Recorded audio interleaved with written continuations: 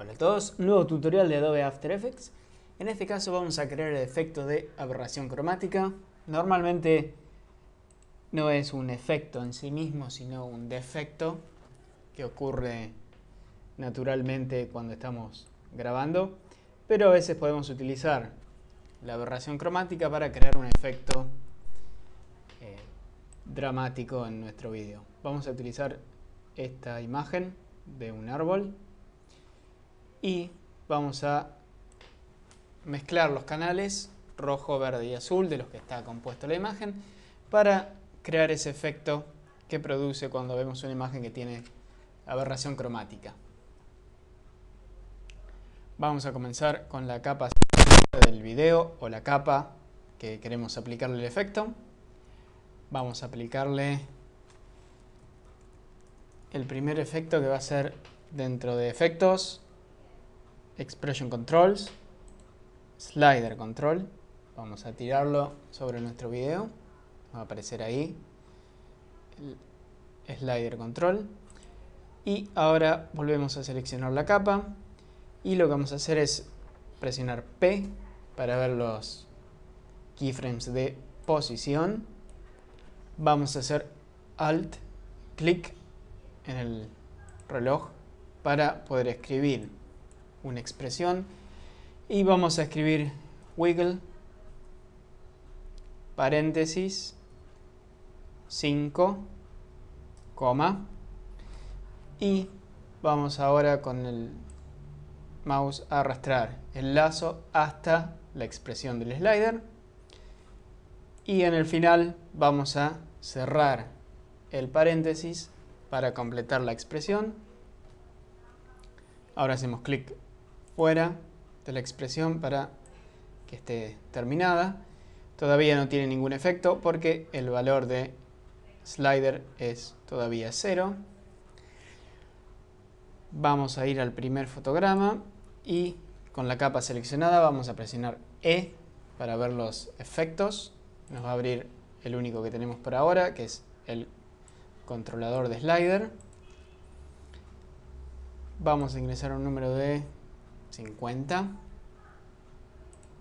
Vamos a crear un fotograma clave. Vamos a ir hasta el último fotograma clave y pongamos 5.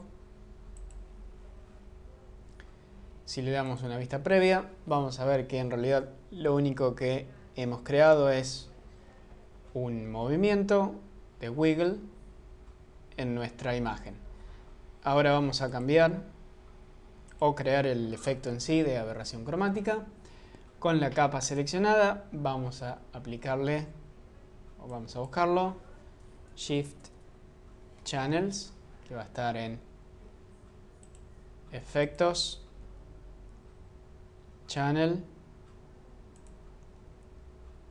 Shift Channels y nos va a aparecer estas opciones. Vamos a desplegarlo aquí abajo. Vamos a dejar eh, tomar alfa de alfa, rojo de, vamos a dejar rojo, y verde full off, azul full off. Vamos a renombrar esta capa para estar organizados rojo. Y ahora vamos a duplicar dos veces, control D, la capa Vamos a renombrar esta capa verde.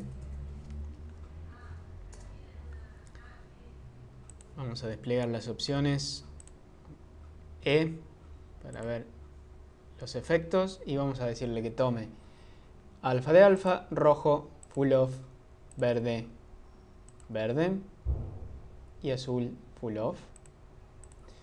Y esta capa la vamos a renombrar azul Presionamos E para ver los efectos y vamos a tomar alfa de alfa, rojo full off, green full off, azul de azul.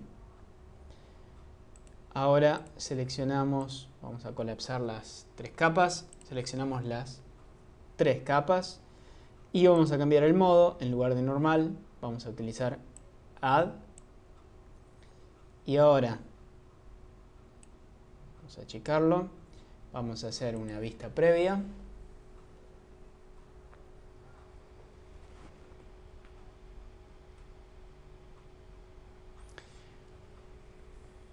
Ahora estamos moviendo o aplicando el movimiento inicial del slider o el wiggle que le habíamos aplicado todo el video a cada uno de los canales. Los canales se mueven en distinta forma y podemos verlos al cambiar el modo de las capas a sumar o add, podemos verlos individualmente. Tenemos un problema, vemos a los costados o cómo se desplazan. Si hacemos zoom, el desplazamiento de los colores se ve en el fondo que es transparente. Entonces lo vamos a corregir, vamos a seleccionar solo una capa, la capa roja.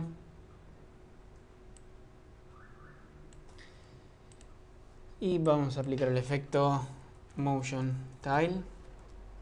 O lo podemos buscar en con la capa seleccionada, efecto Stylize Motion Tile. Y vamos a cambiar las opciones de Output Width y High, ancho y alto. Vamos a darle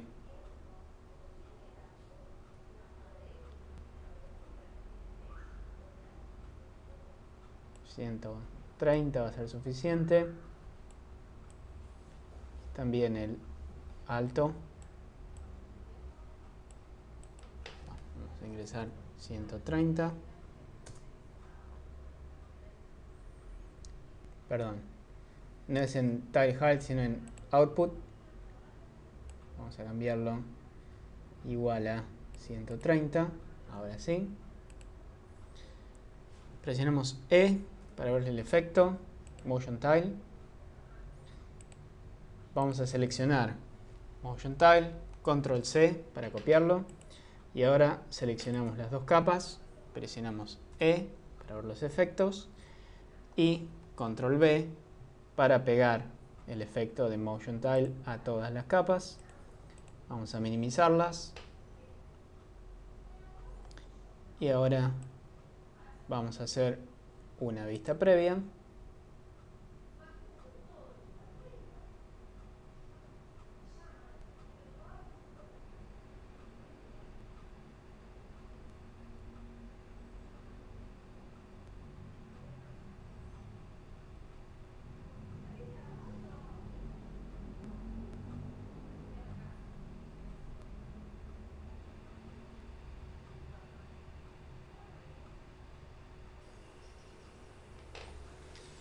Todavía podemos ver la aberración cromática, quizás no es suficiente. Vamos a darle más 150 150 en la otra capa igual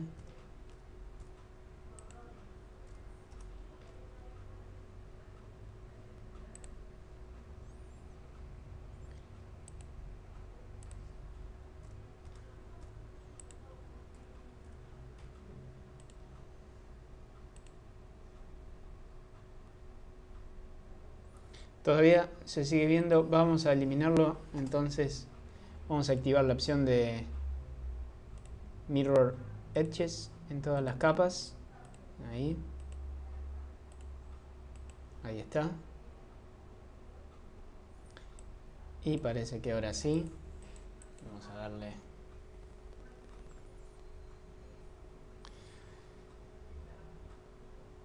Una vista previa y ahora sí podemos ver cómo